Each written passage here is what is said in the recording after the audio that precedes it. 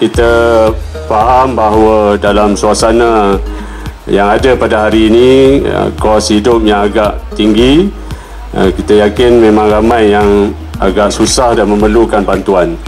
Sebab itu kerajaan negeri sentiasa memikirkan uh, cara-cara untuk membantu rakyat.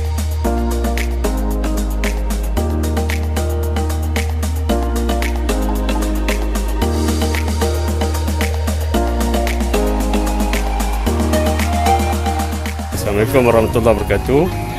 Hari ini kita mengadakan program sumbangan kasih Ramadan.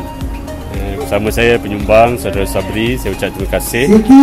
Di program ini kita tumpu kepada lebih 100 penerima. Mudah-mudahan eh, mereka dapat merayakan eh, Idul Fitri dengan lebih baik, lebih meriah.